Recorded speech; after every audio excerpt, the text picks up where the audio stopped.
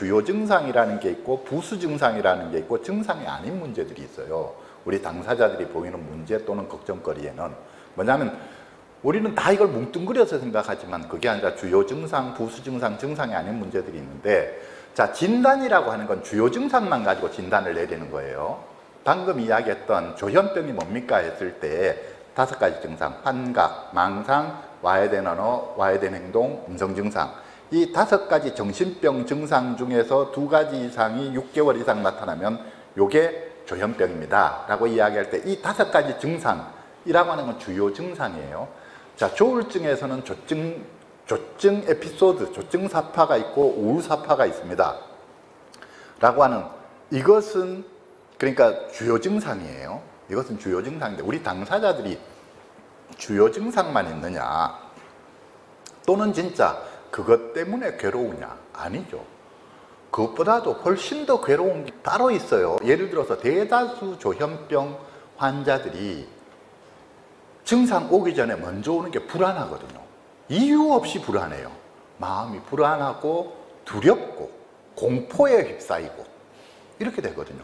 아무도 어떻게 하는 사람이 없는데 그러다 보니까 너무나 불안하고 두렵고 하다가 보니까 딴 사람들이 자기를 공격할 것 같고 무슨 해를 입힐 것 같고 밖에만 나가면 막 사람들이 무서워요 우리는 사람이 왜 무서워하지만 이유 없이 사람이 무섭다고요 학교에 가면 반 친구들이 무서워요 선생님이 무섭고 학교에 가면 자기도 모르게 학교에 가면 긴장이 딱 되는 거예요 이렇게 어깨가 딱 굳고 긴장이 딱 돼. 이런 상태로 몇 년씩 학교 생활을 간신히 하는 거예요 그러다가 어느 날인가부터 헛소리를 하기 시작하는 거예요. 집에 CCTV가 있다.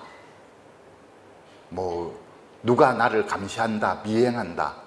누가 나를 갖다가 고의적으로 괴롭히려고 하는 조직이 있다. 뭐 이렇게 이제 되는 거예요. 자기가 느낄 때는 그렇다는 거예요. 왜? 스스로가 내가 왜 이렇게 두려울까? 왜 이렇게 무서울까를 생각할 때 자기 나름대로 이유를 찾는 거예요. 자기 이유를 알아야 될 거잖아요. 자, 학교만 가면은 내가 이렇게 나도 모르게 막 긴장이 되고 이렇게 무서운데 왜 내가 왜 이렇게 나도 모르게 왜 이렇지 학교만 오면 왜 분위기가 왜 이렇게 살벌하지? 애들이 나를 뭔가 자기들끼리 수군거리는 것 같지? 이렇게 되면 이유를 알고 싶어 하잖아요. 왜 그럴까? 했을 때, 아, 뭐, 뭐가 있는 것 같다. 이렇게 이제 되는 거죠. 그래서 이제 요새는 뭐, 그런 이게 이제 문화 따라가는 거다 보니까 그러니까 과거에 우리가 CCTV라든지 또는 뭐 AI라든지 또는 뭐 어, 마이크로 칩이라든지 이런 시기에는 망상이 생겨도 그런 식으로 이야기를 안 했겠죠. 그 시절에는 망상이 다른 양상이었을 거라고요. 자, 망상은 시대에 따라서 망상의 내용이 바뀌어요. 가장 대표적인 게 예를 들어 요새는 색정 망상 같은 거 오면 과대 망상 이런 거 오면은 요새는 보면 다들 아이돌 가수가 대세니까 아이돌 가수 누가 내를 좋아한다. 다 아이돌 가수에 오는 애들이 보면은.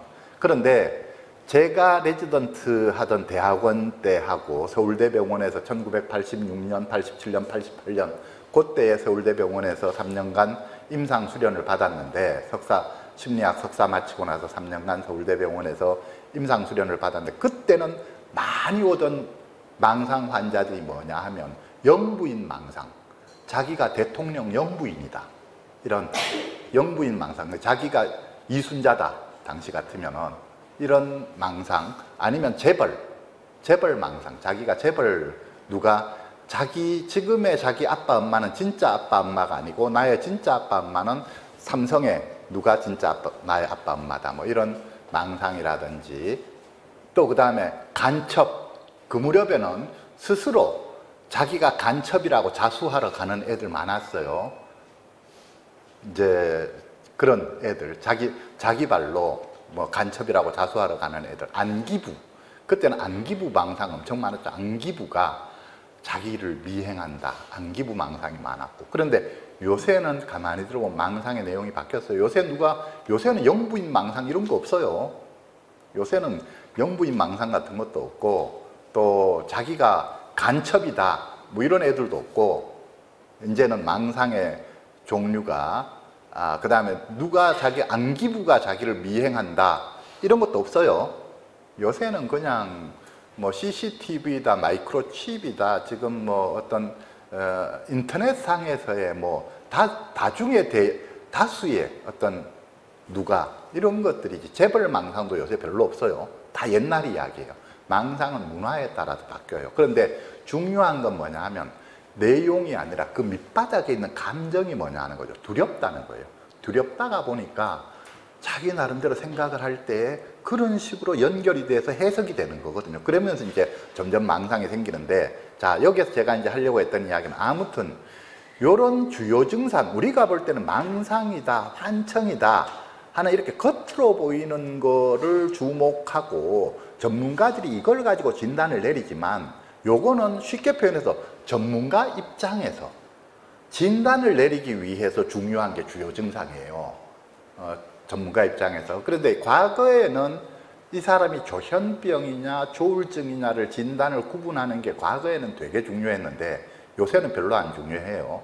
왜? 조현병도 조울증도 요새는 같은 약 쓰는 경우가 많거든요. 지금 이 새로 어, 개발돼서 쓰이고 있는 천, 1990년대 이후로 개발돼서 쓰이고 있는 지금 2세대 항정신병 약물 같은 경우에는 조현병에도 쓰고 조울증에도 쓰고 다 쓰는 약들이 많아요. 그러다 보니까 과거에는 그 조현병, 조울증 진단을 구분하는 게 되게 중요했는데 간별 진단하는 게 되게 중요한데 요새는 덜 중요해졌다. 뭐 그런 이야기인데 그럼에도 불구하고 진단은 중요하죠. 왜냐하면 단순히 약 약만이 아니라 어떻게 대처할 거냐 하는 여러 가지 면에서 진단에 따라서 좀 달라지는 부분이 있기 때문에 진단을 정확하게 구분하는 건 중요한데 아무튼 주요 증상이라고 하는 거는 그러니까 딴, 딴 병에는 그게 없는데 이 병에는 요게 있다. 요게 요, 요, 요렇게 해서 구분하는 거거든요. 그래서 주요 증상은 진단을 내리기 위해서 필요하다 하는 거예요. 이건 전문가들의 일차적 관심사다 하는 거예요. 오히려 당사자들 입장에서는 주요 증상이 힘든 게 아니에요. 자, 보세요. 물론 환청 듣는 당사자들은 환청 때문에 힘들어 하지만 흔히 당장 망상, 망상 있는 환자들은 망상 때문에 힘들어하는 환자도 있지만 과대망상 같은 거 있는 환자들은 뭐 전혀 안 힘들어하죠. 그 그래서 이게 주요 증상 때문에 힘든 게 아니라 부수 증상, 뭐냐 불안해서 못 살겠다는 거예요. 불안해서. 이 불안은 이거는 일종의 약방의 감초 같아서 모든 종류의 정신질환에는 다 불안이 밑바닥에 다 깔려 있어요. 다 불안. 그러니까 불안이라고 하는 게 다 깔려 있는데 아무튼 조현병, 특히 조현병 당사자들이 불안, 두려움, 공포 이게 이런 감정을 많이 느끼죠. 그 다음에 그것만이 아니라 그다음 흔히 오는 게 수면 장애 오잖아요. 밤 불면증 오고 밤낮 바뀌고 이런 거 이제 흔히 오는 것이고요. 그 다음에 흔히 보면 화, 분노, 화가 안에 화가 많이 쌓여 있거든요. 조현병 당사자도 그렇고 조울증 당사자도 그렇고 화 많이 쌓여 있어요. 화. 그 다음에 어떤 외로움, 외로움이라는 외로움이라는 것도 흔히들 많이 가지고 있는 문제고요. 그 다음에 충동 조절 장애.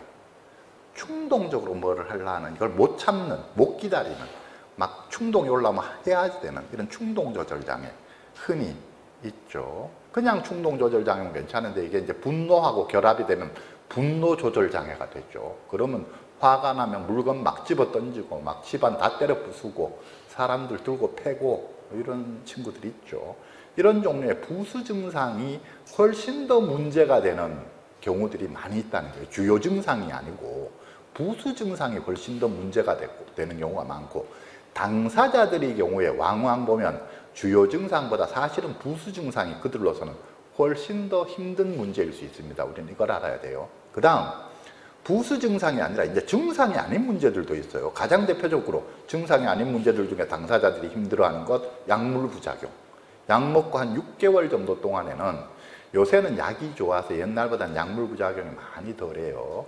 그래서 약을 먹기가 수월해졌는데 수월해졌는데 예, 그래서 상당수 많은 당사자들은 약물 부작용 크게 못 느끼고 지나가는 당사자들이 있어요. 그런데 또 사람들마다 그 체질이 달라서 약물 부작용을 심하게 겪는 당사자들도 있거든요. 근데 약물 부작용은 처음에 먹고 약 먹고 한 6개월 정도 동안 여러 종류의 부작용을 겪어요. 이것도 뒤에 조금 자세히 더 말씀드릴게요. 그런데 보통은 한 6개월쯤 되면 이제 인체가 거기에 적응을 해요. 새로 들어오는 약에 처음에 인체가 적응이 안 되니까 부작용이 나오는 건데 한 6개월쯤 지나면 적응을 해서 그 다음에는 대체로는 거의 대부분의 경우에는 6개월 지나면 약물 부작용 거의 못 느껴요. 그런데 어찌됐건 당사자들 입장에서는 약물 부작용 때문에 힘들다 하는 경우. 그 다음에 가족 갈등 때문에 힘들다. 이 당사자들 엄청 많겠죠. 그러니까 당사자들이 하는 이야기가 뭐냐면 내가 지금 미친 게 아니라 내가 병원에 가야 되고 상담받으러 가야 되는 게 아니라 엄마가 병원 가야 되고 아빠가 병원 가야 된다. 엄마가 입원해야 된다. 아빠 입원해야 된다. 엄마가 약 먹어라. 아빠가 약 먹어라. 상담받으러 다녀라. 주장하는 당사자들 많잖아요. 가족 갈등이 있다는 이야기예요. 애 입장에서는 엄마 때문에 못 살겠다, 아빠 때문에 못 살겠다, 이래 되는 것이죠. 가족 관계가 안 좋아서. 그게 힘든 경우들 많죠. 그 다음에 왕따 피해, 왕따 애들한테서의 왕따 경험, 이런 것 때문에 그게 두고 두고 마음에 맺혀서 계속 기억에 남아서 괴로운 거예요. 이런 애들 많죠. 그 다음에 사회적 고립. 자, 이게 이제 병이 발병하기 전부터 점점 점점 친구 관계가 친한 친구가 없는 이렇게 되는 애들도 많고 그나마 발병하고 나면 그나마 몇몇 친하게 그나마 좀 이야기라도 나누고 지냈던 애들마저 다 떨어지는 경우가 흔하죠. 그래서 뭐 아침에 눈 뜨면 갈 데도 없고 만날 사람도 없고 생전 가도 전화 한 통 오는데 사람도 없고 카톡 하나 오는 거 없고 이런 애들이 수두룩해요. 근데 그렇게 이렇게 사회적으로 고립이 되면 필연적으로 외로울 수밖에 없죠. 얼마나 외롭겠어요. 근데 외롭기는 한데 무슨 방법은 없고 어떻게 해야 사람들하고 친하게 지낼지도 모르겠고 사람들한테 다가갈라니 두렵고 무섭고 그래서 우리 사실은 우리들 입장에서는 망상이다, 환각이다, 또는 뭐 조증 증상이다, 우울증 증상이다 등등등등 뭐 이런 이야기를 하지만 당사자들 입장에서는 대인관계가 사실은 제일 문제가 되는 거예요. 대인관계가. 그래서 우리 이 당사자 출신의 정신과 의사들이라든지는 어떤 주장을 하느냐 하면 우리가 흔히는 조현병을 조현병의 가장 핵심은 사고장애다. 생각이 논리적으로 전개가 안 되는 생각이 비논리적으로 되는 이게 조현병의 가장 큰 문제다라고 이야기하는데 우리 과거에 1930년대, 40년대에 활동했던 썰리반이라고 하는 미국의 유명한 정신과 의사가 있어요. 교과서에도 나오고 하는 정신과 의사가 있는데 그 의사도 조현병의 대인관계 이론이라고 하는 걸 내세웠고 조현병은 대인관계의 문제 때문에 오는 병이다 라고 했고 그 다음에 최근에 는 활동하고 있는 최근에 희망의 심장박동이라고 하는 책을 쓴 국내에도 번역되어 나와 있어요. 희망의 심장박동이라는 책을 쓴 데니엘 피셔 박사라고 하는 정신과 의사 또이 병은 그 그분은 이 병은 정서적 트라우마가 이 병의 원인이다 이렇게 이제 주장하는 분인데 아무튼 그분도 결국은 문제는 대인관계다 라고 하는 것이죠. 대인관계에서의 정서적 트라우마 때문에 이 병이 생기는 거다. 이렇게 이제 그러니까 당사자들 입장에서는 뭐가 제일 힘드냐? 라고 할 땐 대인 관계가 제일 힘들다 이렇게 되는 거예요. 사람들이 너무 두렵고 무섭고 사람들을 어떻게 대해야 될지 잘 모르겠고 그러다가 보니까 고립되어서 혼자 지내는데 혼자 지내다 보니까 너무 외로워서 못 살겠고 이런 거죠. 그래서 자 그런 것이고 그 다음에 증상이 아닌 문제들로 흔히 이제 우리가 병이 생기면 사회적 붕괴가 초래가 되죠. 사회적 붕괴라고 하는 건 학교 다니던 애들이 학교를 그만두게 된다. 휴학을 하던 또는 학교를 자퇴를 하던 직장 다니던 사람이 휴직을 하던 또는 퇴사를 하던 이렇게 그 다음에 친구가 다 떨어져 나가고 등등 가족들 간에도 종종 갈등이 빚어져서 가족 관계가 나빠지고 이렇게 사회적으로 무너진다는 거예요. 사회생활이 무너진다. 그 다음에 사회, 사회생활이 무너지면 필연적으로 심리적 붕괴가 따라와요. 그렇잖아요. 자아정체감에 손상이 오고 자존감, 자신감 이런 거에 문제가 따르죠. 그러니까 우리, 우리 이 친구들이 보면 자존감이 너무나 낮아져 있다는 거예요. 자신감이 너무나 없다는 거예요. 내가 지금 자존감이 바닥인 거예요. 그러다가 보니까 뭐냐면 그나마 남아있는 그 자존감을 지키기 위해서 발버둥을 치는 거예요. 그러니까 병원에 안 갈라 하는 거예요. 내가 병이라는 걸 인정할 수가 없는 거예요. 약도 안 먹으려 하는 거예요. 내가, 내가 왜 정신병자냐? 내가 왜 문제가 있느냐? 나는 아무 문제가 없다라고 주장하는 거예요. 그나마 남아있는 그 자존감을 지키려고. 그렇게 되는 거예요. 자, 그래서 그런 것들. 그 다음에 치료 과정 중에 경험하는 부정적 저우에 따른 불쾌감. 많겠죠. 우리가 치료를 한다라고 하는 게 우리가 치료받는 과정 중에서 우리 당사자들이 경험하는 불쾌한 경험들 많아요. 우리 가족분들도 불쾌한 경험 많이 경험하실 거잖아요. 병원에 가서 대기실에서 의사를 만났을 때, 간호사를 만났을 때, 친절한 의사도 있고, 친절한 간호사도 있고, 등등 하지만 아주 싸가지 없는 의사, 싸가지 없는 간호사도 두드룩하죠. 그래서 말 한마디가 상처가 되기도 하고, 그런 것이죠. 그래서 아무튼 치료 과정 중에 경험하는 이런 부정적 처우, 그에 따른 불쾌감이나 마음의 상처 이런 것들. 그 다음에 사회적 낙인과 편견에 따른 문제들 많이 있죠. 조현병이다, 조울증이다. 그러니까 이게 주변에 쉬쉬하게 되는 거잖아요. 말을 안 하게 되는. 우리가 내가 조현병입니다, 내가 조울증입니다 하면은 박수 쳐주면은 왜 이걸 숨기겠어요? 다들 갖다가 잘못하면 불이익을 당할까봐 이거를 이제 숨기기 급급한 거죠. 그래도 요새 이제 좀 나아져서 정신질환에 대해서 과거에는 이제 우울증은 우리가 볼에 있을 수 있어. 하다 최근에 공황장애는 연예인들이 자기가 공황장애 있다고 그러니까 커밍아웃 하는 연예인들이 많아졌죠. 어, 그러다가 보니까 공황장애에 대해서는 사회적으로 이제 그래도 좀 받아들이는 분위기죠. 공황장애 있을 수도 있지. 이렇게 되는데 아직까지 조울증만 해도 아직까지 커밍아웃이 잘 안 되죠. 사실은 조울증은 막 조울증은 많이 있어요. 사실은 우리나라에 조울증 있는 사람들 중에는 고위공직자 들도 많고 대학 교수도 많고 조울증은 조증 기간에 되면 에너지가 나오기 때문에 어느 분야든지 높은 자리에 가 있는 사람들 중에 조울증인 사람들 많아요. 국회의원들 중에도 많고 그래서 제가 하려 했던 이야기는 사회적 고위층들 중에 사실은 조울증 환자들 많이 있어요. 많이 있는데도 조울증은 아직까지 커밍아웃 안 하잖아요. 내가 조울증입니다. 왜? 이런 편견 때문에 그런 것이죠. 그 다음에 조현병도 우리 조현병에서 공부 못한다. 천만의 말씀이에요. 공부에 필 꽂혀 있는 조현병 환자들 많아요. 공부 잘하는 애들이 조현병 발병하는 경우 많은 게 왜 그러냐면 이 조현병이 원래 초등학교 다니고 할 때부터 대인관계가 잘 안 되거든요. 친구들하고 친하게 지내고 이게 잘 안 되니까 어느 날부터인가 공부를 하기로 결심을 하는 거예요.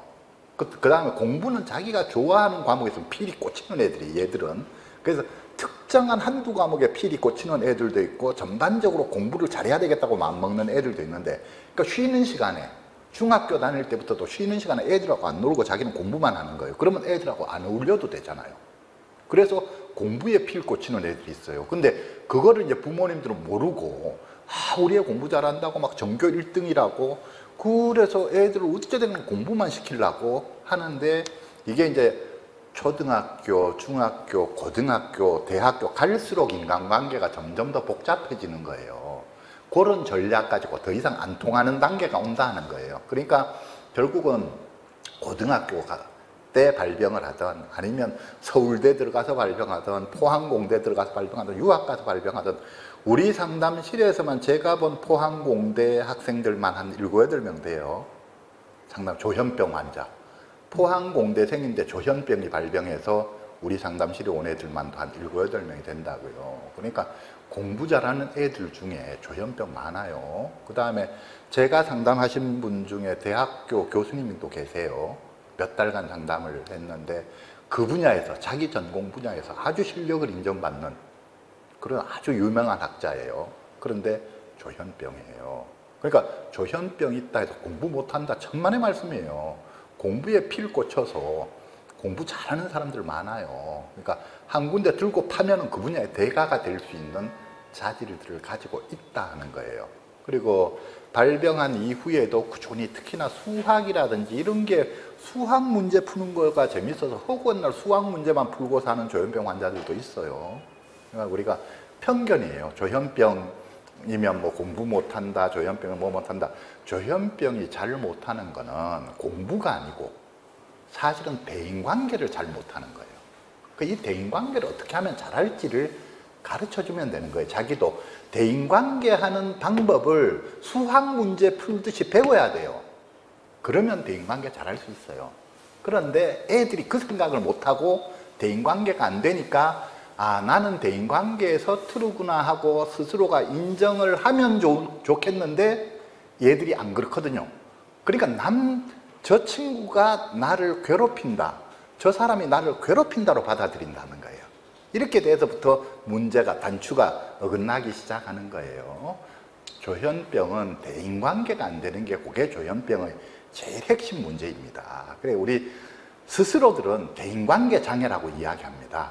전문가들은 사고 장애라고 이야기하지만 대인관계 문제를 이걸 어떻게 해결할 거냐 이게 조현병의 관건입니다. 그 이야기고 조울증은 조울증도 물론 대인관계 문제 있죠. 조울증은 대인관계 문제로 따지면 조울증이 외로움을 많이 타요. 조울증인 사람들은 그게 문제예요. 그래서 조울증은 쉽게 표현해서 엄마 찾아다니는 거예요. 조증만 떴다 하면 엄마 찾아다니는 거예요. 그래서 이성관계가 흔히 문란해지기도 하고 종교에 잘 빠져요. 사기꾼한테 잘 넘어가요. 전부 다 마음이 외로워서 그런 거예요. 마음이 외롭다가 보니까 누가 자기한테 좀 잘해주면 혹 하고 넘어가는 거예요. 그게 기본 조울증이에요. 그래서 또 그러다가 보니까 자기를 어, 겉으로 매력적인 사람으로 보이려고 과시하려고 하고 하다가 보니까 무리하게 사업을 벌린다든지 뭘 한다든지 이래서 이제 사고들을 쳐대는 거예요. 그래서 그런 게 있는데 자 조현병은 어찌됐거나 대인관계의 문제가 핵심입니다. 사실은 사고장애라든지 이건 다 부차적으로 생기는 거고 본인 입장에서 핵심은 대인관계가 안 되는 거예요. 조울증은 핵심이 뭐냐면 사실은 충동 조절 장애예요. 충동 조절이 안 된다는 거예요. 이게 브레이크 차가 300km, 400km 나가는데 핸들 조작을 못 한다, 브레이크를 못 밟는다 이거예요. 충동 조절만 할 줄 알면 조울증은 얼마든지 잘 살 수 있어요.